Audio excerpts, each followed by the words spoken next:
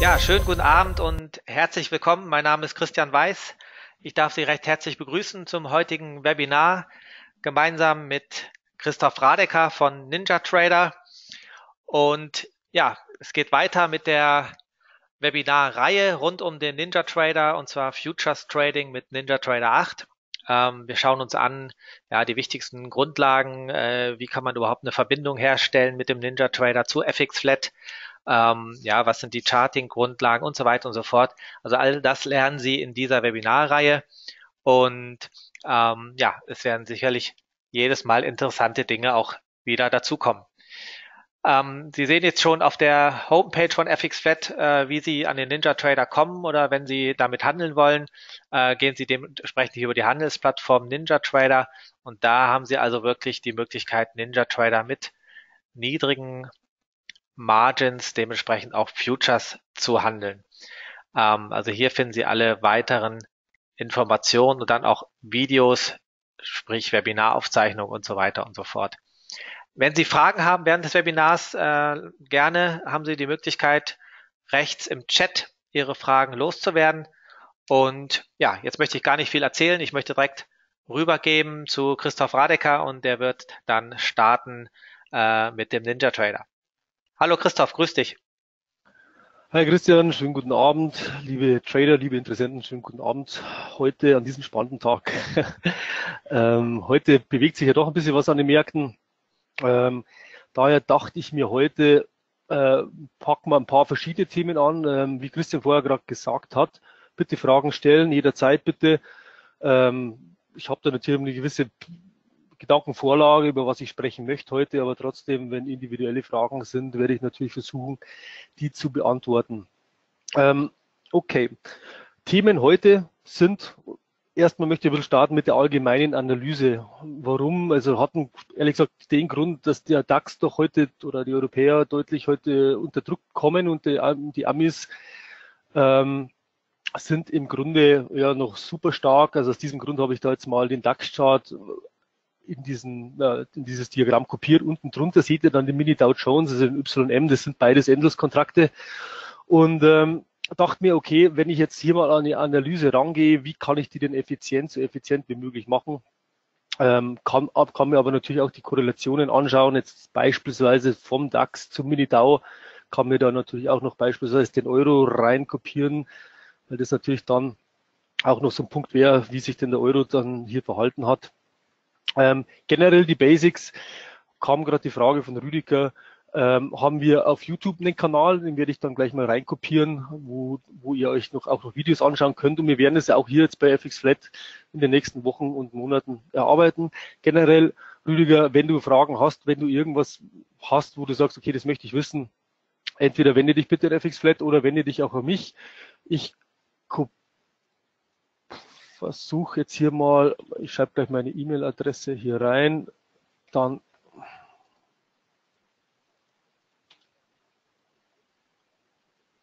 Ah, geht nicht. Ähm, also meine E-Mail-Adresse ist christoph.ninjatrader.com mit chph. Werde dann gleich nochmal versuchen, das reinzuschreiben. Okay. Mhm. Und dann kam die Frage, ähm, auch noch eine Frage zu den historischen Daten, was denn in der Lifetime-Lizenz äh, enthalten ist, was braucht man, was kostet es. Genau, gehe ich auch gleich drauf ein. Wunderbar. Okay, was ihr eben jetzt hier seht, also ich fange jetzt hier mal mit dem Charting an, ähm, ist jetzt hier ein Chart vom FDAX. Ich werde jetzt hier mal den Mini-DAO rauskopieren. Fangen wir mal mit dem an. Äh, bin jetzt einfach, habe den einfach angewählt und bin auf Entfernen auf der Tastatur. Also es ist relativ einfach damit zu arbeiten. Und möchte mir jetzt hier mal eine generelle Analyse machen, sprich eventuell Trendlinien, aber auch horizontale Widerstände, Unterstützungslinien. Kennt jeder aus jeder anderen Plattform heraus. Ähm, was ich hier oben schon mal drin habe, das ist im Grunde hier dieser Fake-Ausbruch, den wir gesehen haben, jetzt letztes Jahr, Ende letztes Jahres. Und seitdem kommt der Index nicht auf die Füße. Ähm, was ich machen möchte im Generellen, um euch das ein bisschen zu zeigen, in den Zeichenwerkzeugen, ist folgendes. Der Ninja Trader hat ein Tool, das oder hat eine Möglichkeit, ähm, Zeichenwerkzeuge, sei es eine Linie, sei es eine Gerade, Fibonacci, schieß mich tot, ja, im Grunde in jedes weitere Fenster, in diesem Fall vom FDAX, hinein zu kopieren.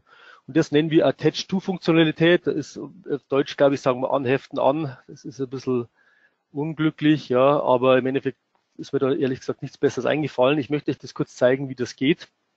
Ähm, ich habe jetzt hier ein Unterstützungsniveau eingezeichnet. Ja, das ist der DAX ja dann doch im Ende Juni, Juli, da haben wir abgeprallt, dann haben wir noch einen Rückläufer gesehen im August und jetzt nähern wir uns dem Ganzen wieder an. Brechen wir oder auch nicht. Wichtig ist jetzt mir hier diese Attach-to-Funktionalität, die wiederum in jedem Zeichenwerkzeug äh, funktioniert. Ich mache dazu einen Doppelklick oder einen Klick jetzt erstmal auf dieses Zeichenwerkzeug, kann dann entweder via Rechtsklick mit der Maus die Eigenschaften aufrufen oder eben mit einem Doppelklick auf das Zeichenwerkzeug auch diese Zeichenwerkzeuge aufrufen. Und ihr seht jetzt hier unter den konfigurierten Zeichenwerkzeugen auf der linken Seite jede Linie, gerade wie auch immer, die wir hier in diesem Chart definiert haben. Und ähm, genau, mir geht es jetzt hier um dieses Rechteck, um, um, dieses Unterstützungsniveau. Farblich kann ich das natürlich anpassen, wie ich will. Äh, die Opacity, das ist im Endeffekt die Deckkraft, also wie die Deckkraft in das Blau intern wäre, wenn ich das ein bisschen einfacher mal auf 10 setze, dann sieht man, das Ganze wird ein bisschen durchsichtiger. Ähm, mir geht es jetzt hier um diese Anheft-An-Funktionalität. Das ist gleich mal hier unter allgemein in der ersten Zeile. Und wenn ich da draufklicke, haben wir hier zwei Optionen. Ich habe jetzt hier nur diesem, heute beim Nino Trader, glaube ich, nur zwei FDAX-Charts auf. Einerseits kann ich hier anheften an FDAX, diesen Tageschart, den ich jetzt hier offen habe, oder eben den FDAX an alle Charts. Und ähm, im Grunde ist es so, wenn ich diese Option anwähle, macht er folgendes oder macht NinoTrader folgendes, dass ich, wenn ich jetzt einen neuen Chart öffne, zeichnet er mir hier diese Linie oder dieses Rechteck gleich mit ein. Und ich meines Erachtens ist das eine relativ brauchbare Geschichte, weil im Grunde das Arbeit einfach Arbeit erspart. Ja.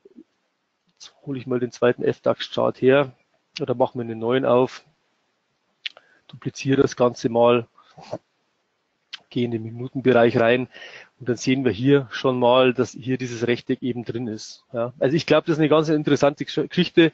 Man kann sich da eben beim, bei der Marktvorbereitung oder bei der, bei, wenn man seine Hausaufgaben zum Markt macht, sehr, sehr viel Zeit sparen. Das ist, glaube ich, ganz, ganz elegant gelöst und ist auch relativ vielseitig eben einsetzbar. Also das jetzt hier mal kurz mit zur generellen Analyse. Wie kann ich Zeit sparen? Das Ganze gilt natürlich, wie ich, wie ich vorher gerade gesagt habe, auch für jegliche für jegliches, äh, jegliches andere Zeichenwerkzeug, sei es jetzt, wie gesagt, ein Fibonacci Retracement oder eine Linie. Ähm, wenn man über Fibonacci spricht, und äh, das möchte ich jetzt ein bisschen machen, ähm, haben wir im NinjaTrader einige Zeichenwerkzeuge mit drinnen. Und ähm, wir haben jetzt beispielsweise hier diese, die normalen Retracements, wir haben aber auch Extensions mit drinnen und auch Fibonacci Time Extensions. Ich möchte jetzt hier kurz mal über diese Extensions sprechen und äh, bitte nagelt nicht mich fest, mich nicht fest, falls ich das jetzt hier falsch einzeichne. Mir geht es jetzt hier um das Allgemeine. Und ähm, ja, folgendes. Wir haben das relativ oft, dass viele Kunden im Endeffekt was einzeichnen oder ein Zeichenwerkzeug abändern möchten und das Ganze eben immer so übernehmen. Also im Englischen würde man sagen, ich möchte mir ein Template erstellen. Im Deutsch, auf Deutsch sagen wir dazu Vorlage. Ich, ich möchte eine Vorlage haben und möchte diese Vorlage auch als Standard definieren. In dem Fall weil ich einfach beispielsweise bei dieser bei diesem Fibonacci, bei dieser Fibonacci Extension nicht interessiert bin an diesem 23er Level und auch vielleicht nicht am 76er Level. Entschuldigung. Ähm, es ist so, auch wiederum hier mache ich, gehe ich jetzt mehr auf diese Linie. Mir sind dann hier einige Punkte entstehen. Und wenn ich auf diese Punkte gehe, kann ich wieder dieses Zeichenwerkzeug eben, äh, kann ich mir eben Einstellungen vornehmen. In dem Fall möchte ich mir hier diese Levels eben abändern. Wenn ich jetzt hier über dieses, diesen Punkt Levels fahre, kann ich dieses eben editieren.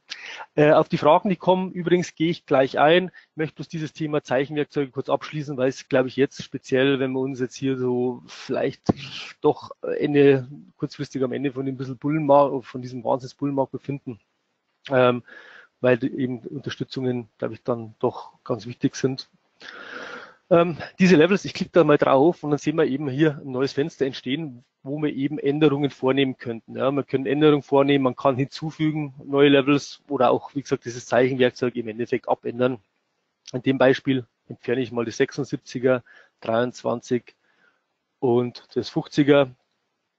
kann natürlich die Eigenschaften zum jeden Level farblich natürlich gestalten, wie ich es haben möchte. Klick auf OK. Und jetzt kann ich natürlich noch Folgendes einstellen. Ich sage, ich erweitere mir das Ganze mal nach rechts. Und dann möchte ich das Ganze als Vorlage speichern.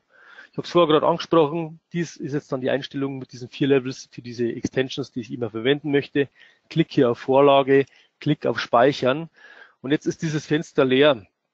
Und ähm, wenn ihr das Ganze immer als Vorlage verwenden möchtet, bitte speichert hier das Default. Ja, Default heißt auf Englisch Standard.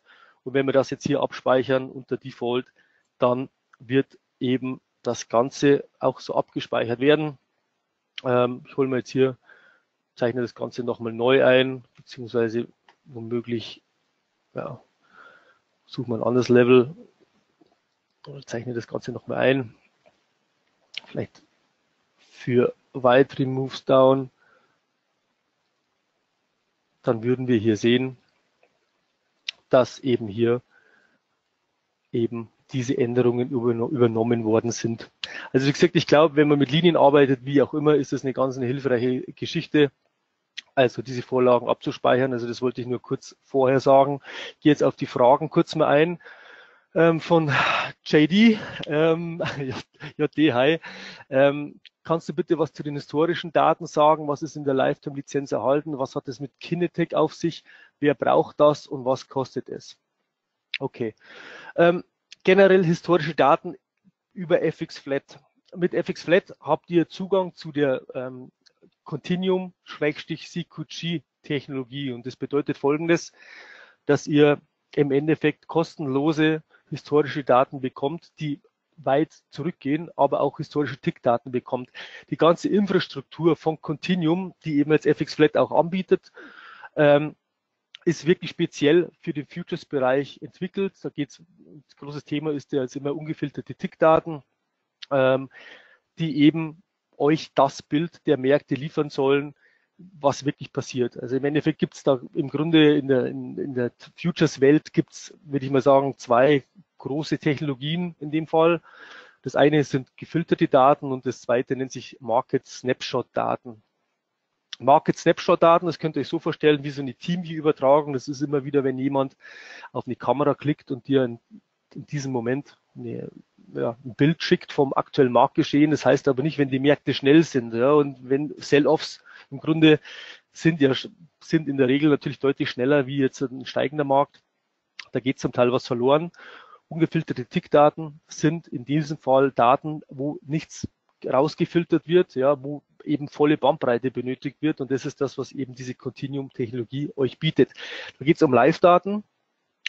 Diese Live-Daten werden von NinjaTrader gespeichert und ähm, euch dann eben als Nutzer dieser Continuum-Technologie eben auch zum Download für historische Daten zur Verfügung gestellt. Ähm, ein paar Infos dazu. Diese wie ich gesagt habe, diese Daten, die sind kostenlos, die werden für, sagen wir, alle wirklich beliebten Märkte gespeichert. Ja, ähm, wenn wir jetzt, ich, genau, also die werden für alle beliebten Märkte gespeichert, das heißt der DAX, Eurostox, Bund oder amerikanische Index-Futures oder auch Währungsfutures oder Rohstofffutures werden die gespeichert und die könnt ihr euch laden. Ja, das seht ihr im Endeffekt nicht, das Ganze ist kostenlos, aber das Tolle dabei ist, ihr bekommt für alle beliebten Instrumente ähm, wirklich Daten, die mehr als zehn Jahre zurückgehen. Ihr bekommt Minutendaten und das ist, glaube ich, ein wichtiger Punkt, wo auch deine Frage darauf abzielt oder wo vielleicht, wo oft Fragen kommen. Minutendaten gehen auch mehr als zehn Jahre zurück und Tickdaten ähm, gehen mindestens ein Jahr zurück. Ja, in der Regel kappen wir Tickdaten einfach bei einem Jahr. Ähm, hat einfach den Hintergrund, weil hier die Datenmenge extrem groß ist. Wer den Namen Tickdaten oder diesen Begriff Tickdaten noch nie gehört hat. Ähm, Tickdaten ist die geringste oder die, die, die, die äh, hat die größte Datenmenge, weil eben die Auflösung der Daten am größten ist. Ja, also hier wird bei Tickdaten wird jeder einzelne Trade gespeichert und eben dann von den historischen Datenservern abgerufen. Ähm, Tickdaten sind natürlich dann aus diesem Grund auch am genauesten und ähm, werde dann auch später noch ein Beispiel bringen, wo, wo Tickdaten auch beispielsweise zum Laden von Daten benötigt werden. Kinetic war an, die andere Frage, ähm, wird das gebraucht, ist das nötig? Und ähm, ehrliche Antwort ist die, 99 Prozent unserer Kunden brauchen das nicht.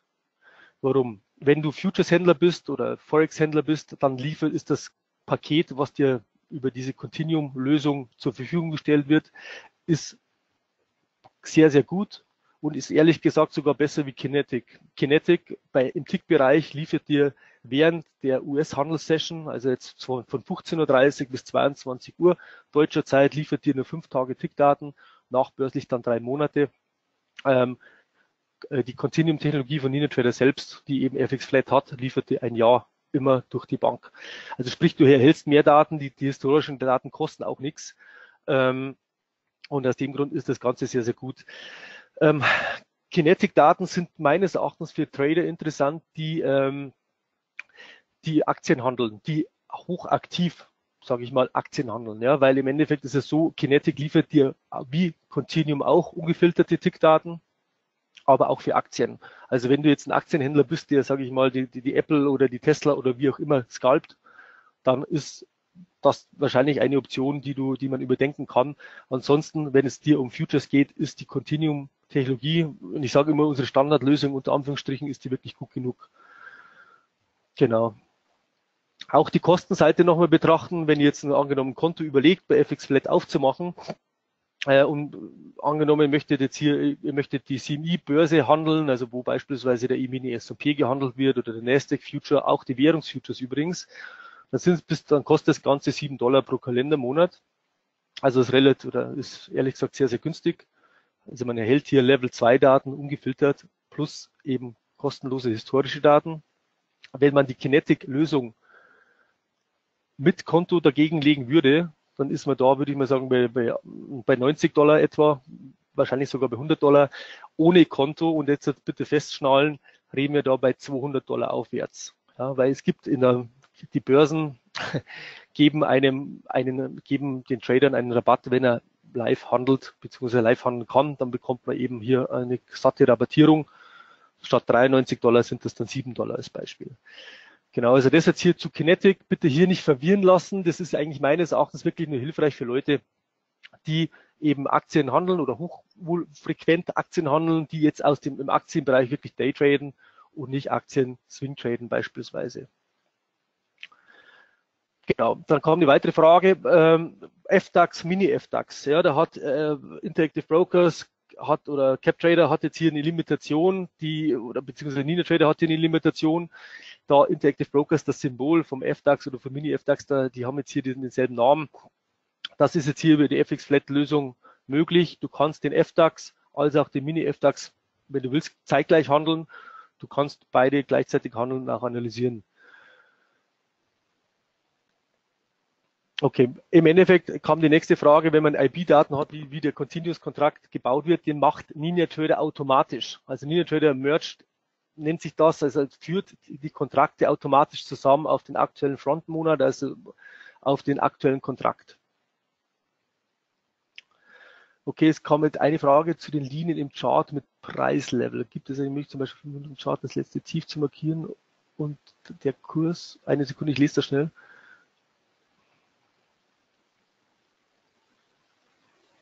Mhm.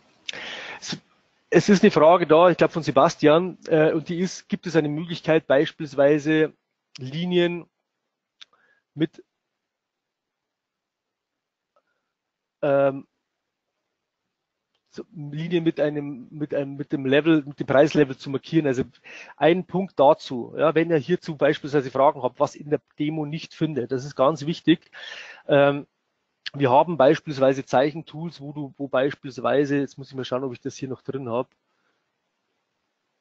Äh, habe ich nicht. Wir haben beispielsweise auch Linien, beispielsweise, wo du, wo eben die Preislevels auch angezeigt werden. Ja, also das haben wir alles mit drin, offen gesagt. Also wie gesagt, wenn ihr hier speziellen Wunsch habt, also in der Regel oder im Normalfall, offen gesagt, haben wir das Ganze schon gebaut oder ist zumindest auf unserer Supportseite zu finden. Ähm, vielleicht Sebastian, schreiben wir da eine E-Mail und schauen wir uns das Ganze nochmal an. Punkt von Rüdiger, CQG ist Continuum, korrekt. Ja, ähm, das ist genau dieselbe Infrastruktur. Also CQG oder Continuum ist eine Tochterfirma von CQG, hat ehrlich gesagt lizenzrechtliche Gründe, warum das bei uns Ninja Trader Continuum heißt und nicht CQG, ist aber genau dieselbe Infrastruktur. Auch das magnetische Anlegen sollte eigentlich gehen. Ich, ich, da ich das nie mache, ehrlich gesagt, bin ich die Frage ein bisschen übergangen. Schau mir das aber an und liefere das nach, Sebastian.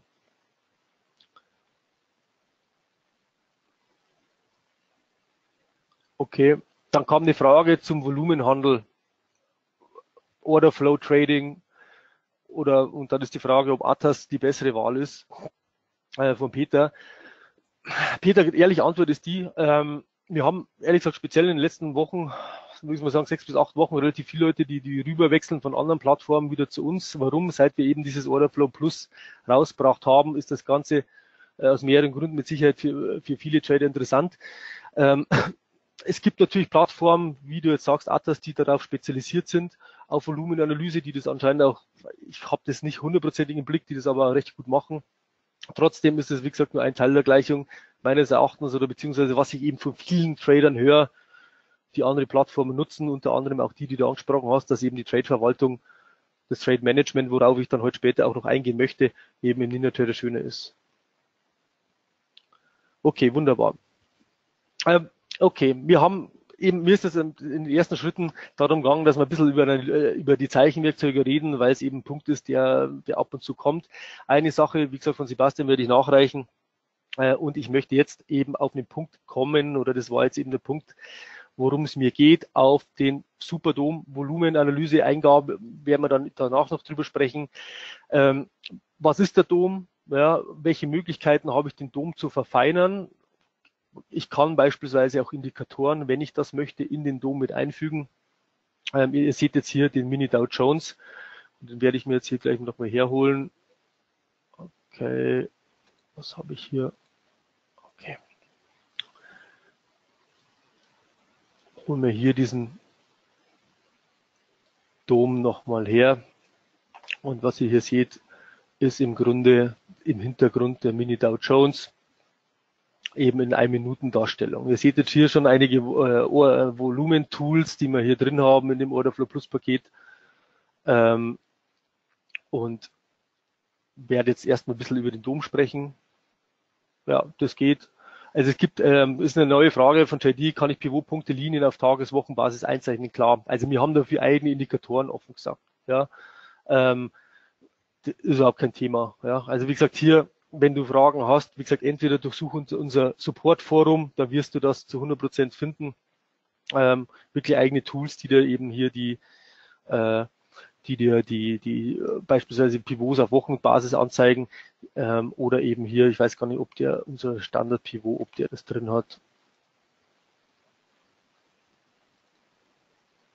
Okay, wir haben jetzt hier beispielsweise die Pivot-Range sogar standardmäßig drin, monatlich, wochen, wöchentlich. Also daher ist das eigentlich alles mit drinnen. Okay. Zurück zum Dom. Generell, ihr werdet im NinjaTrader zwei Arten vom Dom finden. Es gibt einen statischen und einen dynamischen Dom. Ihr seht jetzt hier den statischen Dom, der ist speziell für Trader, die aktiv, die hochaktiv Futures handeln möchten, wahrscheinlich die Wahl. Ja. Ähm, hat einen speziellen Grund, da sich eben hier die, die mittlere Preisleiter, also diese Spalte wo, Preis, wo der Preis ist. Ja, jetzt sind wir ja bei 25.844.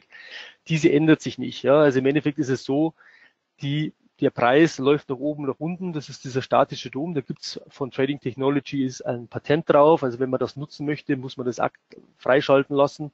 Und alternativ gibt's noch den dynamischen Dom, den ihr auch auf der Demo habt. Da schaue ich mal, ob er, ob mir den ihr überhaupt erlaubt. Erlaubt mir nicht, weil bei mir der statische freigeschalten ist. Ja. Ähm, aber hier, wie gesagt, ist jetzt hier der statische. Also wie gesagt, wenn man hier Fragen hat, es gibt zwei Arten vom Dom, statisch als auch dynamisch. Wichtig oder wenn, wenn ihr hier, wenn ihr ein hochaktiver Scalper seid oder sei, jemand seid, der sagt, okay, ich möchte hier wirklich kein Fehlerrisiko haben, dann ist wahrscheinlich der dynamische Dom die eure Wahl. So, wir sehen jetzt hier drei Spalten, Kauf, Preis, Verkauf. Im Endeffekt sehen wir dann unterhalb des aktuellen Kurses, sehen wir aktuelle Limitaufträge, die eben hier darauf warten, abgeholt zu werden. Überhalb des aktuellen Kurses oder des letzten Kurses, der gelb dargestellt wird, seht ihr aktuelle Aufträge im Ask. Ja, das ist eine normale Preisleiter.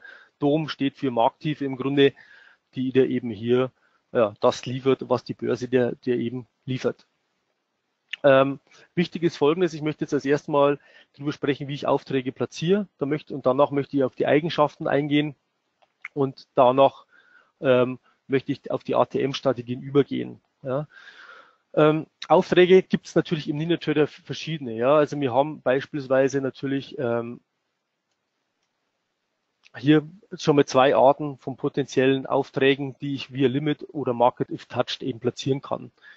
Ähm, klar, ich kann natürlich auch nochmal, hier, ich mache das hier nochmal rein, kann ich natürlich weiterhin Aufträge platzieren auf der Short-Seite.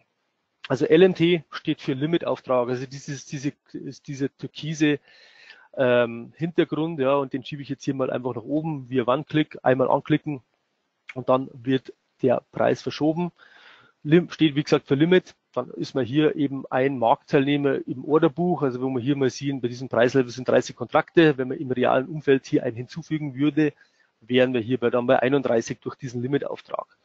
Der Market ist Touched Auftrag, grün, mit, der, mit dem grünen Hintergrund steht einfach dafür, das ist ein, ein Auftrag, der lokal bei euch oder bei mir auf dem Rechner eben liegt und im Endeffekt sobald der Preis eben dieses Preisniveau, wo der Auftrag im Moment liegt, angelaufen wird, wird ein Marktauftrag gesendet. Also Market if touched, Marktauftrag sobald berührt, ja, will man dann wahrscheinlich auf Deutsch sagen. Und im Endeffekt ist das eine weitere Möglichkeit, die wir jetzt hier eben im NinjaTrader 8 haben, zur Auftragsplatzierung im Dom. Wir sind jetzt hier ein Long, ein Kontrakt Long und ich sage, und jetzt möchte ich den Stopp platzieren. Und ich habe jetzt hier unterhalb schon mal zwei Arten vom Stopp platziert. Einerseits den normalen Stoppauftrag, Stop Market. Dafür steht das Ganze oder diese Abkürzung ist im Endeffekt ein Auftrag, sobald eben dieser Kurs oder der Kurs eben dieses Level jetzt von dieser 25.837 erreichen würde, wird ein Marktauftrag gesendet. Wichtig ist folgendes, Aufträge mit der Continuum-Technologie liegen entweder direkt an der Börse oder auf den Trading-Servern. Also sprich, wenn du deinen Rechner ausschaltest, ist der Stopp trotzdem noch im Markt und wird eben ausgeführt. Die zweite Möglichkeit oder der zweite Auftrag, den wir hier unten noch sehen, ups, das ist eben hier dieser Stop-Limit-Auftrag und hier muss man ein bisschen vorsichtig sein damit. Ähm, der Stop-Limit-Auftrag speziell zum Ausstoppen aus einer Position, also sprich, wenn es euer Stop-Loss ist, ähm, bietet euch nicht die Sicherheit, die eben der normale Stoppauftrag hat. Ich platziere den hier nochmal oder mit, mit der mittleren Maustaste übrigens, Entschuldigung, das hatte ich jetzt übersehen. Dann kann ich hier eben einen Auftrag versehen mit einem Limit, Limitpreis. Also wenn man jetzt hier in den Trade eingeht, könnte ich sagen, ich möchte maximale Slippage eben zulassen. Ja, wenn ich jetzt sage hier 2, dann habe ich im Endeffekt einen Auftrag oder einen Stopp, der mir hier eben dann maximal Slippage eben gibt von zwei Pips oder zwei Ticks in diesem Fall. Also hier bitte, aber zum Einstieg ist es mit Sicherheit relativ interessant, speziell wenn man News handelt, kann man hier auch im Future eine Art Slippage Control, wie vielleicht manche von euch aus dem Forex-Bereich kennen, eben anwenden. Wir sind jetzt hier long und haben ausnahmsweise mal einen Trade, der ins Plus läuft und normalerweise läuft es bei mir anders.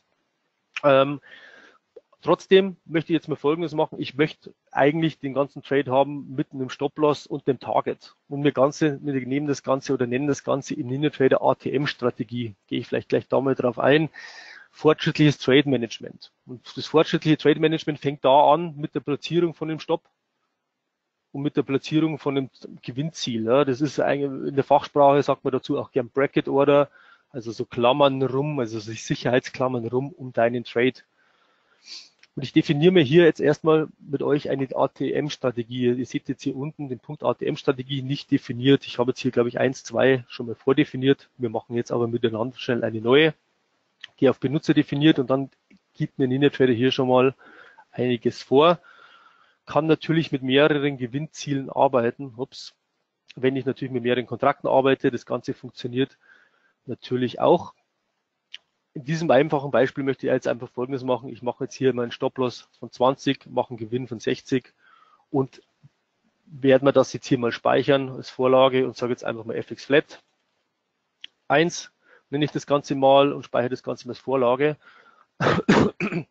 und kann jetzt natürlich, da der Trade offen ist, das Ganze trotzdem nochmal anwenden. Und das möchte ich euch jetzt mal zeigen, weil die Frage oft, kommt, NinjaTrade auch kann das. Gehe jetzt hier mal auf Positionen. Ups. Und da sehen wir hier diese DAO-Position unter den Punktpositionen mit drinnen. Ups. Und da, wenn ich hier einen Rechtsklick mache, kann ich hier beispielsweise eine ATM-Strategie anwenden, gehe jetzt hier auf, äh, auf FX Flat und dann setzt er mir hier in diesem Fall eben das Ganze vom letzten aktuellen Kurs. Ja, also im Endeffekt, wo, mir, wo ich das platziert habe, war eben, waren wir gerade bei der 61 und dann setzen wir dann eben hier in diesem Fall die ATM-Strategie, den Stopp eben bei der 41. Also sprich, du kannst trotzdem, trotz aktuellen Trade kannst du natürlich hier weiterhin mit, äh, mit Stops und Targets arbeiten. Wir sehen auch hier rechts im Chart Trader, dass das Ganze auch platziert worden ist. Mhm. Also Peter hat eine Frage, kann ich mit NinjaTrade auch Imbalances anzeigen? Das ja. Und bitte konkretisiert den Punkt zeitbasiert konfigurieren. Das kenne ich jetzt nicht. Also Footprint Charts, also das ist der Punkt, um was Peter hier geht. Das ist jetzt nicht meine Spezialdisziplin, muss ich sagen, aber sobald, soweit ich kann, werde ich es beantworten. Also die Frage von Peter war eben, kann ich mir mit Hilfe von NinjaTrader auch Imbalances, das ist ein Ausdruck von Footprint Charts, äh, anzeigen lassen kann ich diese auch zeitbasiert konfigurieren. Mhm. Okay. Eine weitere Frage von JD. Kann ich mir den Verfallstag und den äh, bei den Rohstoff-Futures den First, First, äh, First Notice Day im Chart oder in der Kontoleiste anzeigen lassen? Theoretisch ja, praktisch haben wir hierfür keinen Indikator, offen gesagt. Ja, Im Endeffekt, was passiert, das ist ja im Endeffekt, was hier passiert, ist folgendes. Ähm, die Daten, die, um die es dir geht, sind ja statisch. Also der Verfallstag und auch der First Notice Day, der ist im Vornherein bekannt. Ähm, mir, mir im Endeffekt ganz offen gesagt ist es so, dass wir hier nichts machen. Wir haben natürlich im Kalender oder wir haben intern im NinjaTrader auch einen Kalender, der natürlich das Ganze berücksichtigt. Aber im Endeffekt plotten wir das nicht. Aber das ist eine interessante Idee, offen gesagt, dass das eben einzufügen. Also die, das Einfügen selber oder so einen Indikator dafür zu erstellen, ist ehrlich gesagt nicht die Thematik, weil hier eine statische Website eigentlich abgefragt wird. Ähm, aber das ist ein guter Punkt, Jerry, das werde ich, das schreibe ich mir auf, das schreibe ich mir auf oder ich hoffe, ich merke es mir. Ich merke gerade, ich habe keinen Stift, Stift da. Weitere Frage von Sebastian. Mhm. Mhm. Mhm. Nach der Trailing-Stop-Funktionalität, also da geht es jetzt darum, also wie gesagt, jetzt, leider hatte ich jetzt hier einen Trade, der gleich ins Plus gelaufen ist. Ähm, normalerweise ist ja anders. Ich schließe den jetzt hier mal.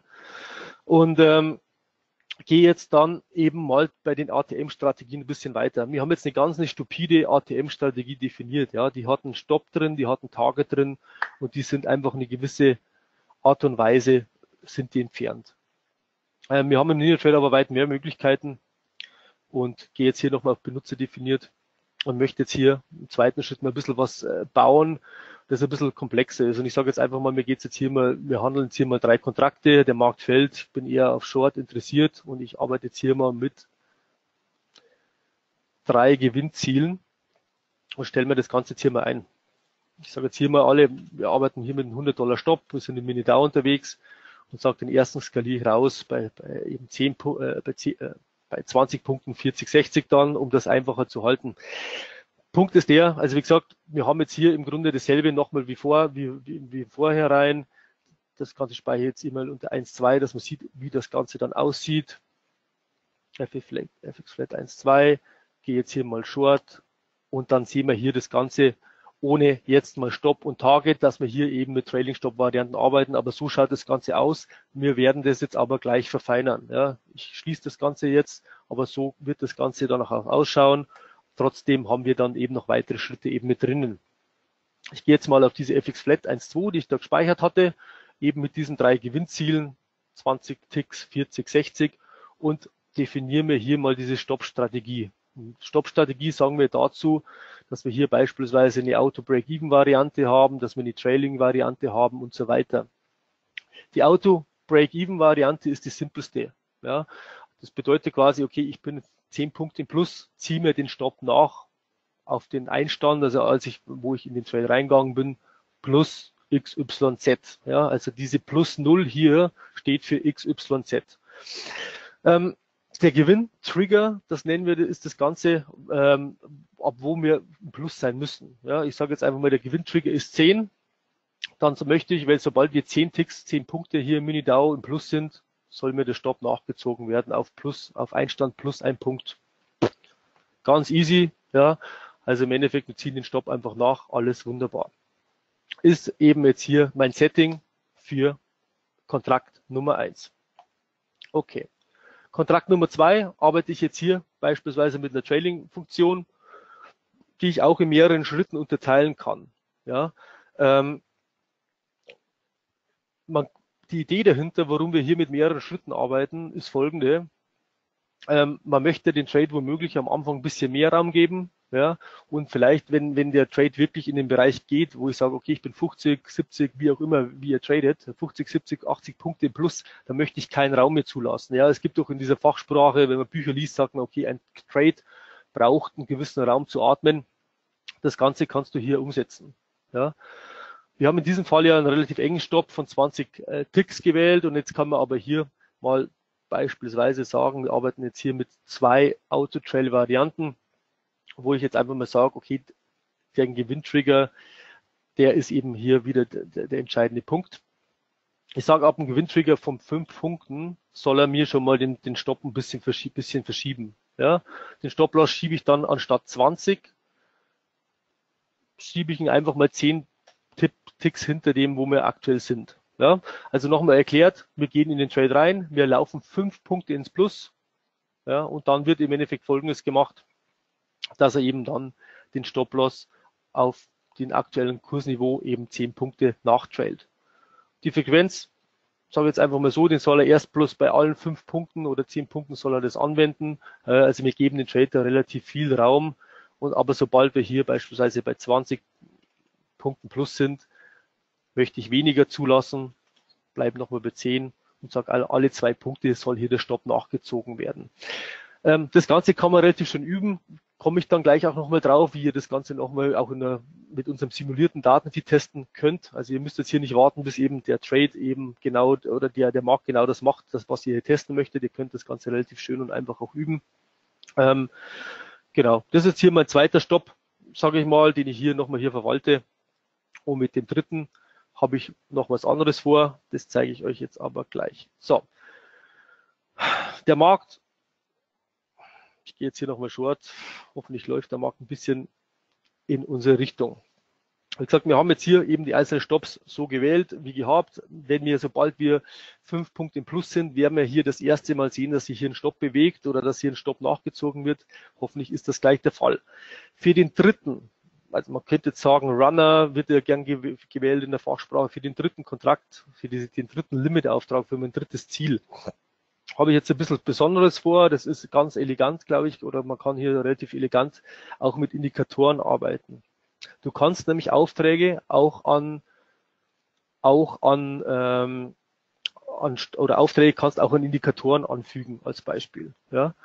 Ähm, ich möchte euch das bloß mal kurz mal zeigen. Ich hole mir hier einfach mal einen Indikator rein. Ich glaube, das ist jetzt hier so ein super Trend. Ich nicht irre. Oh, das war's nicht. Zack.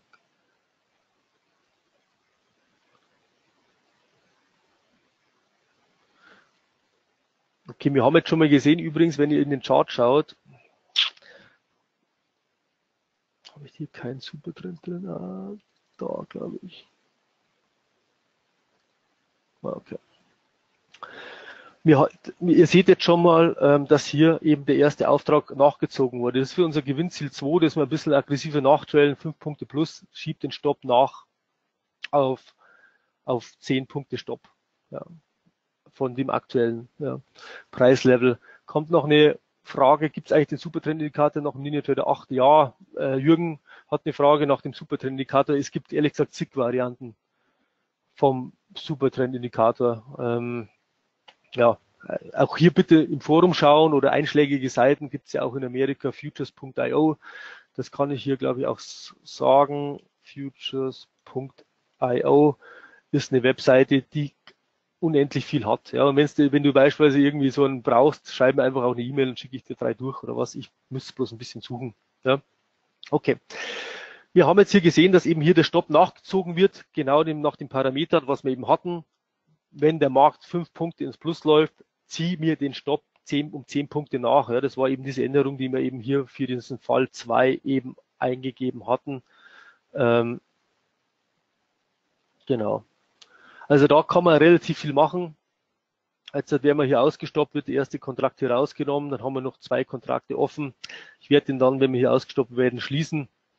Ein wichtiger Hinweis hier noch, also sind wir jetzt hier ausgestoppt worden, sobald er hier auf diesen Leisten, also hier diese, diese, diese horizontalen Linien, mein S seht, ja, das bedeutet schlichtweg äh, Single, das sind Single-Kontrakte, ja, einzelne Kontrakte, die im Grunde ja jetzt vielleicht im Orderbuch nicht auf demselben Level liegen. Das würde auch bedeuten, wenn ich jetzt hier, wenn ich beispielsweise zwei Kontrakte auf demselben Preisniveau nacheinander platziere, dann würden, würde, hätten wir auch hinter diesen zwei Kontrakten auch ein S, weil die nicht auf demselben Niveau liegen. Ja, genau. Jetzt läuft der Markt gegen uns, also wir sehen jetzt hier auch mal so diesen Supertrend, äh, ein Volatility Stop ist im Grunde, ja, sehen wir hier äh, bei der Arbeit, aktuell ein Long-Signal. Und ähm, ja, und jetzt schließe ich da das Ganze mal im Minus, aber weil ich eben euch das nächste oder mal eine ganz interessante, coole, meines Erachtens äh, nette Geschichte zeigen möchte, nehmen hier jetzt mal diese FX Flat Variante 1, wo wir nur einen Stopp hatten und ein Target. Kaufe jetzt hier mal mit dieser, mit dieser Strategie oder mit dieser definierten ATM-Strategie und klicke jetzt hier mal auf dieses 1 Verkaufsstopp. gehe da drauf. Also wie gesagt, so kann ich das natürlich im DOM oder im Chart auch verschieben.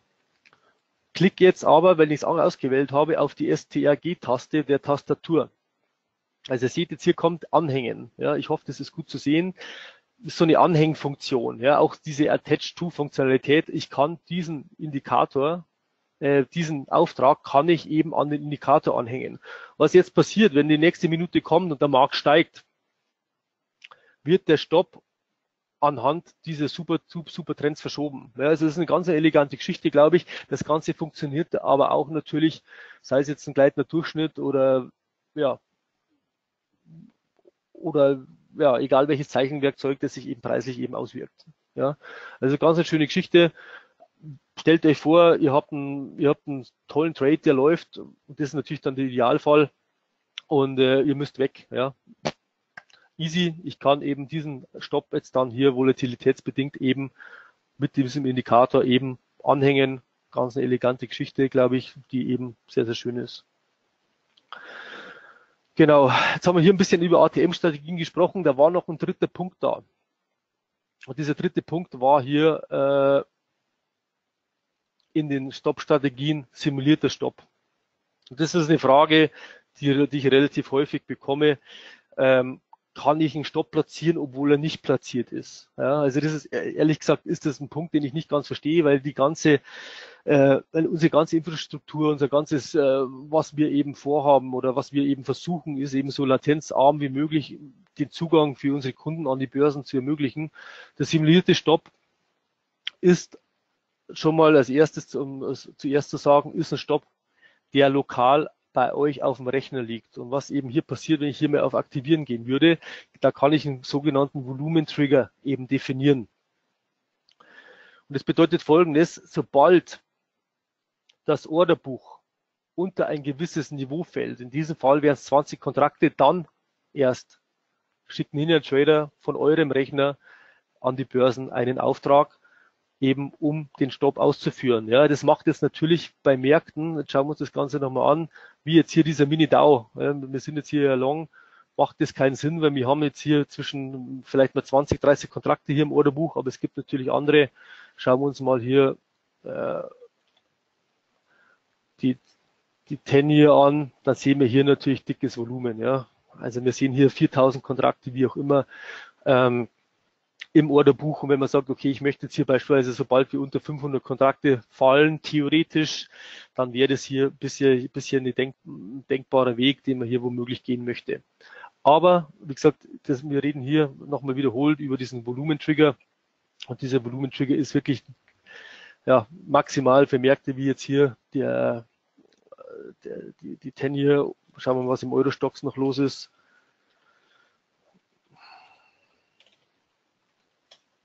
Naja, da sehen wir auch ein bisschen Volumen, aber nicht so viel. Ja. Ähm, ist auf jeden Fall da eine Möglichkeit, wenn das für euch wichtig wäre. Fakt ist, wenn ihr so mit so einem Volumentrick arbeitet, bitte denkt dabei oder denkt dran, Risiko für Slippage ist natürlich echt da. Ja, ähm, okay. Okay, wir haben jetzt vorher ein bisschen über das Orderbuch gesprochen, über den Dom. Ähm, wir haben natürlich auch die Möglichkeit, also das werde ich das nächste Mal nochmal deutlicher drüber sprechen, ähm, hier weit mehr eben noch zu definieren. Wenn wir hier beispielsweise einen Stopploss haben, wenn der Stopploss ausgeführt wird, ja, ich kann automatisch einstellen, dass, der, dass die Position gedreht wird. Ja. Ich weiß nicht, es ist vielleicht nicht jedermanns Sache. Ich, ich zeige euch das jetzt trotzdem nochmal, dass wir hier, ich gehe jetzt hier mal raus und definiere mal hier eine neue Strategie, dass ihr das sehen könnt, wie das ausschaut. Arbeite hier mit einem sagen wir, engen Stopp von 8, Gewinnziel machen wir mal 40 und dann machen wir hier mal beim Stop-Loss drehen. Gibt es natürlich noch mehr, weit mehr, was man hier eben auswählen könnte. Ähm, übrigens gibt es jetzt hier auch noch diese Shadow-Strategie, ja, die vielleicht für manche interessant ist, die live handeln und Live-Umfeld nochmal mit Demo-Umfeld eben vergleichen möchten. Ja. Man kann jetzt hier beispielsweise auch mehrere Strategien eben noch mit testen. Ich sage jetzt mal so, ihr könntet verschiedene Strategien auch übereinander legen. Ja. Okay, Jetzt machen wir folgendes mit dem Stopp, haben ein Gewinnziel, ich gehe short. Und dann sehen wir hier folgendes, ich bin im Eurostox, ich dödel, das wollte ich nicht. Ich wechsle mal den Markt, ich wollte in den DAO. Okay.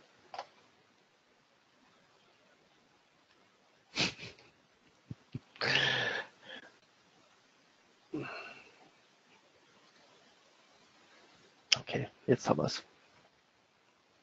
Haben wir nicht, weil ich nicht ausgewählt habe. Entschuldigung. Stopp plus 8, Gewinnziel 40. Drehen. Okay. Jetzt aber. Okay. Okay. Also das sind jetzt ein bisschen so fortschrittlichere Tools, ob man das eben will oder nicht, ist eben die Frage. Also wie gesagt, das ist relativ flexibel. Was wir sehen, ist eben folgendes. Wenn man diese Option beispielsweise wählt und man sagt, okay, ich werde ausgestoppt, ich möchte aber gleich long gehen, ich will hier nicht mehr äh, manuell was eingeben, dann hat jetzt hier Ninetware auch einiges vordefiniert. Das seht ihr hier in der praktischen Anwendung. Stop-Loss, dunkelrot im Endeffekt und gleichzeitig haben wir hier diese zwei S-Single-Aufträge für den Stopp wenn wir hier angelaufen werden, sind wir long mit einem Kontrakt und wir sind wieder dann, äh, hätten dann natürlich auch gleich wieder das Ganze eben für, hätten wir das Ganze natürlich auch wieder äh, dann auf der, auf der Long-Seite, falls wir eben jetzt hier long gehen würden. Ich schiebe das Ganze mal runter, dass wir hier eine Ausführung bekommen. Genau, wunderbar. Also gesagt, wir sind ausgestoppt worden, jetzt sind wir long und wir sehen wieder drehen, falls wir falsch liegen. Ja. Ähm, JD hat eine Frage, YM, ähm, Raute, Raute, minus Raute, Raute, minus die 0918. Äh, der, der, der Rautenkontrakt, das ist ein Endloskontrakt. Ehrlich gesagt, ich weiß gar nicht, warum ich ihn verwendet habe. Ehrlich gesagt, ähm, der aktuelle Frontmonat, das ist auch der einzige Kontrakt, den man wirklich live handeln kann. Das ist jetzt hier, äh, sind, sind diese Kontrakte mit den Monatsangaben. Aktuelle Frontmonat ist eben, wie gesagt, wie du gesagt hast, der, der September. Ähm, ja, Genau, also das ist der Endloskontrakt, der jetzt aber mit der Continuum-Verbindung ehrlich gesagt nicht nötig ist. Ja, also ehrlich gesagt, ehrliche Antwort ist die, ich weiß gar nicht, warum ich das hier ausgewählt habe. Ja, aber ja, genau. Okay. Ähm, abschließend, da kam ja auch eine Frage dazu ähm, nach diesen Volumentools. Und wir sehen jetzt eigentlich hier schon so ein Volumentool, das wir jetzt in hier in NetTrader 8 eben vordefiniert haben. Das ist jetzt hier der VWAP, Volume Weighted Average Price mit Standardabweichungen, aber auch mit diesen Block-Trade-Kreisen, äh, nenne ich das Ganze mal. Ja. Ähm, da waren wir vorher, genau. wir sehen jetzt hier eben Blocktrade-Aktivität. Das kann eben NinjaTrader, die, die oder Flow Plus Funktionalität von NinjaTrader kann das. Ähm, ich möchte ein bisschen euch ein bisschen was erzählen über diesen Indikator, weil eben speziell diese Orderflow Tools, diese Volumen Tools eben ein bisschen belie immer beliebter werden. Geht dazu mal hier in diese Indikatoren mit rein, was du damit eben machen kannst. Ja, und dieser Trade Detector, den habe ich jetzt hier mal definiert mit einem Minimum von 25 Kontrakten. Also wir bekommen jetzt jedes Mal, in diesem Fall, wenn 25 Kontrakte mit einem Trade, mit einem Block-Trade gekauft, verkauft werden, bekommen wir hier so einen Kreis. Ja. Ähm, kann, habe jetzt hier natürlich auch verschiedene Auswahlmöglichkeiten, ähm, das Ganze nochmal für mich zu definieren. Man kann hier eine, eine Marker Size, also die Größe dieses, dieses, von diesen Kreisen kann man definieren und das Ganze auch nochmal für die Handelssitzung oder für den sichtbaren Bereich eben definieren. Ist eine ganz coole Geschichte, finde ich, weil man eben schon sieht, wann denn mal ein größerer Marktteilnehmer denn aktiv war und wann nicht. Ja. Und ähm, ja, ist auf jeden Fall interessant. Das Ganze, diese, diese fünf Kontrakte, äh, diese 25 Kontrakte habe ich einfach ausgewählt, ja, weil es eben dann doch einen gewissen, eine gewisse Größe hat. Und wir sehen jetzt hier beispielsweise, hier hat man eine 35 gekauft, dann waren es hier mal 26 und dann in die Aufwärtsbewegung rein hat hier oben dann auch einer 25 Kontrakte gekauft. Also man kann im Grunde mit diesen Orderflow Plus Tools oder generell mit diesen Volumenanalyse Tools erreicht man schon Folgendes. Man bekommt den Blick wirklich in die Kerze rein und muss eben das Time und Sales nicht offen haben. Ähm, ist auf alle Fälle, glaube ich, eine ganz elegante Geschichte. Was ich eben heute noch zeigen wollte, und das ist so ein weiterer Screen, den ich da ein bisschen vorbereitet hatte, eben war eben hier dieser VWAP in Kombination mit dem Range Chart. Ich weiß es nicht, wer eben Range Charts von euch benutzt oder ob jemand schon von euch Range Charts schon mal gehört hat. Ähm, ein Range-basierter Chart, ähm, der, ja, der hat im Endeffekt hier, ihr seht es hier oben stehen, eine Größe von 8 Range, also von 8 Ticks. Also da zählt nur bei so einem Range Charts die Größe von der, von der Kerze, also es zählt nur die, Handel, die Bewegung des Marktes und nicht die Zeit und nicht das Volumen, das was gehandelt worden ist. Ja, wenn wir alle, die meisten Trader kleben ja an dem 5-Minuten-Chart 15, 60, wie auch immer. Ähm, der hat, einen, hat eine relativ schöne Eigenheit, sagen wir erstmal werden Range Charts relativ gern benutzt für, für automatisierte Systeme, aber auch im Endeffekt haben die einfach einen schönen, eleganten Vorteil. Ja, der, die Zeit wird ausgeblendet und im Endeffekt wird man nicht vom Marktrauschen wirklich abgelenkt. Ja, also im Endeffekt sind Bewegungen relativ schön und sauberer bemerkbar, wie eben beispielsweise in einem Minutenchart, wo man vielleicht kurz mal rausgefaked wird ist auf jeden Fall ein Bereich oder eine Art und Weise des Handelns, was sehr, sehr beliebt ist, ehrlich gesagt, im, im professionelleren Handel. War vor Jahren extrem beliebt. Mittlerweile gibt es schon äh, weiterführende Chartmöglichkeiten. Aber der Range Chart wollte ich eben euch aus diesem Grund eben vorstellen, weil er eben sehr gute Daten braucht und eben, weil er eben, glaube ich, ein, ja, glaube ich, eine Möglichkeit bietet bei extrem schnellen äh, Märkten euch eben trotzdem nochmal die, die Markttendenz eben schöner zu zeigen und im Grunde auch zu zeigen, ja, äh, wo eben die letzten Verlaufshochs und so weiter waren, kann man im Range Chart relativ schön sehen. Ist auf alle Fälle eine relativ schöne Geschichte, weil er eben die Zeit rausnimmt und auch das Volumen beispielsweise rausnimmt. Wenn ich jetzt ein bisschen hier über diese ganzen Möglichkeiten spreche, ich spreche, ich bin jetzt hier ein bisschen rübergewandert zu den Chart-Darstellungsarten möchte ich kurz nochmal anreißen, was alles möglich ist oder was standardmäßig möglich ist. Also es ist natürlich weit mehr möglich. Wir haben jetzt hier als Charttypen schon mal definiert und das ist jetzt alles hier bis auf eins, was ich sehe, Standard. Äh, Tick-Charts, ja, was eben mit äh, die, die größte Auflösung ist, ja, was du eben äh, an der Börse, in der Börsenwelt eben an Daten dir anzeigen lassen kannst, Volumen und Range Charts. Das sind übrigens alle Tick, alles, alle drei Dinge sind Tick basiert. Also hier werden immer, hier wird eigentlich immer jeder Trade reingeladen, weil es extrem genau sein muss. Ja, wenn man hier gegenüberstellt eine Minutenchart als Beispiel, ähm, da zählt nicht jeder Trade, sondern im Endeffekt nur die Eröffnung, der Schlusskurs, das, das Tief und das Hoch.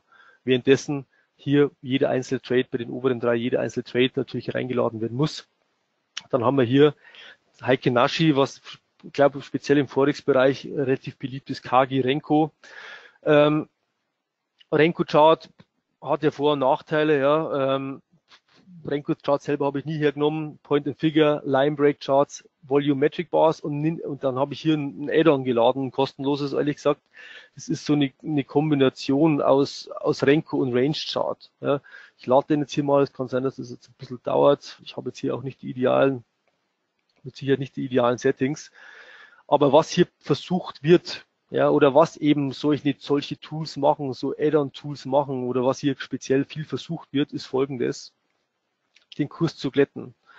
Also viele Verkäufer von Tools als Beispiel, wenn ich das jetzt mal so nennen kann, versuchen natürlich irgendwo Mehrwert zu bieten. Ja, es gibt natürlich auch viel Mist.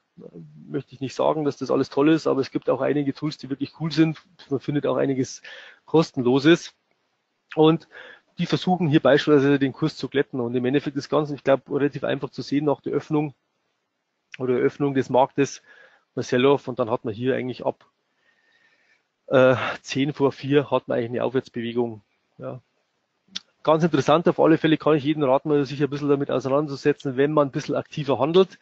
Die Gefahr möchte ich trotzdem dazu ansprechen, ist natürlich Overtrading ein bisschen, ja, weil man eben dazu neigt, dann womöglich zu viel oder zu, in zu kleinen Zeiteinheiten reinzugehen. Ja. Aber trotzdem, glaube ich, eine ganz coole Geschichte. Abschließend bei dem Webinar heute noch einen interessanten Punkt, weil wir hier dieses Gap haben. Ja. Wir haben ja hier dieses Gap hier drinnen, das ist vom, Gest vom gestrigen Schlusskurs zu heute, also gestern war ja Feiertag, also da war verkürzter Handel. Gut, daher ist es da 7 Uhr oder 19 Uhr deutscher Zeit hat man hier ein Gap. Und im Grunde ist es so, schauen wir mal nochmal, ja, da haben wir, haben wir mal ein vernünftiges. Wir haben hier ein Gap eben von 22.15 Uhr bis eben dann 15.30 Uhr. Also die Darstellungsart, die ich hier gewählt habe, ist eben, sind diese Regular Trading Hours. Also die Amis haben halt eigentlich bei den US-Indizes haben die zwei Handelssitzungen. Ich zeige euch das mal schnell, weil vielleicht ist das was, was euch interessiert. Gehe jetzt hier mal in die Datenreihen rein und dann mal hier unter dem Punkt Handelszeiten bitte schauen. Also ich habe jetzt hier mal gewählt CMI US Index Futures RTH. Also dieses RTH, Richard Theodor Heinrich, steht für Regular Trading Hours, also die regulären Handelszeiten. Das ist auch dann wenn im Endeffekt die, die US-Aktienbörsen offen haben. Ähm, ja, das ist dieses Template oder das ist diese Handelszeitenvorlage. Standardmäßig haben wir diese elektronischen Handelszeiten und da haben wir, werden wir gleich sehen, dann haben wir hier kein Gap drin, ja, weil natürlich die Bewegung natürlich dann in der Nacht eben ausgeklammert wird. Ja. Also sprich, wenn ihr jemand seid, der sagt, okay, ich möchte jetzt hier beispielsweise ähm, mich auf den US-Markt fokussieren. Ich bin jetzt jemand, ich handle den Dow, ich handle den MIN, S&P, Nasdaq, wie auch immer, oder auch Öl. Macht wirklich zum Teil Sinn, wirklich sich die Haupthandelszeit nochmal separat anzuschauen. Wie gesagt, mit zwei Mausklicks kannst du das in Linear Trader machen. Und ähm, ja, es war noch eine Frage, die möchte ich jetzt noch darauf eingehen, ähm, bezüglich der Volumetric Bars. Jetzt holen wir hier noch mal einen Chart her und mache den hier mal und laden wir hier mal diese Volumetric Bars rein, weil eben eine Frage hier war bezüglich der Imbalances.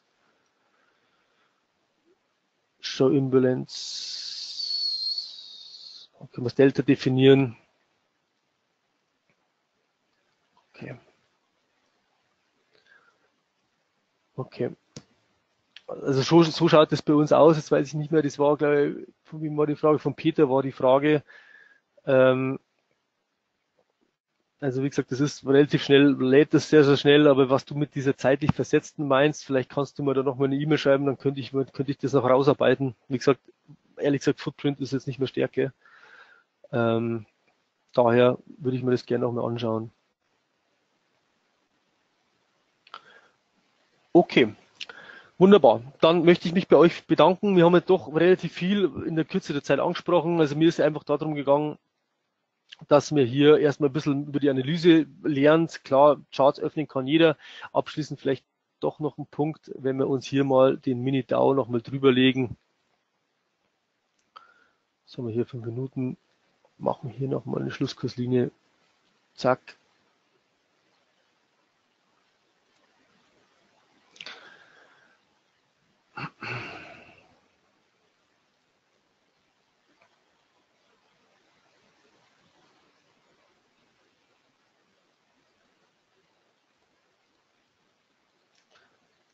Und lege das mal übereinander. Können wir auch ein Daily nehmen.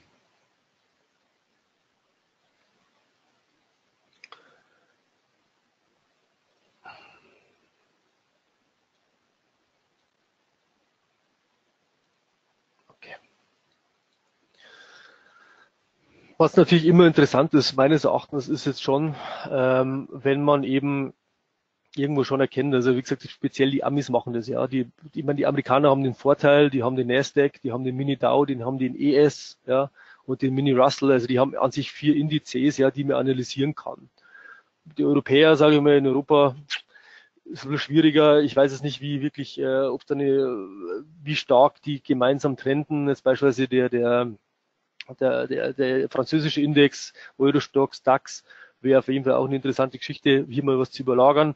Aber Fakt ist, was man eben jetzt hier sehen kann, ist natürlich schon die Stärke spezielle von den US-Indizes, jetzt in, speziell jetzt in den letzten Zeit August. Ja. DAX gibt ja ab, also der kriegt, muss man sagen, kriegt Prügel, ja, und die Amis sind stark. Also diese Abwärtsbewegung, die wir ab diesem Zeitpunkt sehen, ab August eigentlich im DAX, sehen wir im Dow nicht, oder haben wir nicht gesehen. Also der ist deutlich angestiegen ähm, könnte man auch noch mal hier die Nasdaq mal drüberlegen, vergleichsweise, der sollte noch stärker sein. Ja, der ist noch stärker. Also wir können auch hier eben verschiedene Indizes überlagern mit einem Blick, was glaube ich relativ interessant ist. Ja. Das Ganze funktioniert natürlich auch bei Währungen zum Dollar, bietet sich natürlich an, ja, dass man den Euro zum Dollar oder britischen Pfund zum Dollar mal übereinander lagert, dass man hier auch sieht, okay, wann sind hier Stärken da von dem einen Markt zum anderen auf alle Fälle, glaube ich, eine ganz interessante Geschichte. Ähm, ja, also hier Überlagerung der Nasdaq als Chart hier zu sehen, also mit dem Candlestick Chart und unterhalb dann der Dow Jones, der deutlich schwächer war, ja, wie eben der Nasdaq, aber trotzdem, wie wir vorher gesehen haben, der DAX deutlich im Hintertreffen. Genau. Wichtig ist mir bitte Folgendes. Ähm, wenn ihr Fragen habt, bitte ähm, kontaktiert FXFlat oder kontaktiert auch mich. Meine E-Mail-Adresse habt ihr. Ähm, ich werde euch auf alle Fälle dazu auch gerne die Fragen beantworten. Nehmt euch die Zeit, das Ganze kennenzulernen. Die Demo läuft hier 14 Tage mit Live-Daten der US-Börsen und ähm, schaut euch das Ganze an. Und ähm, ja, solltet ihr Fragen haben, gebt uns bitte, gebt mir bitte Bescheid oder auch dann den Kollegen von FX Flat. Und ähm, würde mich freuen, von euch zu hören. Und ansonsten möchte ich mich bedanken für eure Zeit. Und in zwei Wochen, war jetzt ein paar Tage später dran, zweieinhalb Wochen werden wir uns wieder hören, dann am Donnerstag. Und dann können wir ein bisschen vielleicht mehr, ein bisschen über Automatisierung, Backtesting und so weiter können wir uns beispielsweise anschauen. Genau, gibt es ja unendliche Möglichkeiten. Genau. Sebastian, bitte schreib mir eine E-Mail und vielleicht, genau, Peter war es, glaube ich. Peter, wenn es geht, schreib auch mir eine E-Mail, weil ich glaube, das ist ein Punkt, offen gesagt, wo ich die Kollegen fragen muss. Genau, wunderbar danke euch und einen schönen Abend und gute Trades.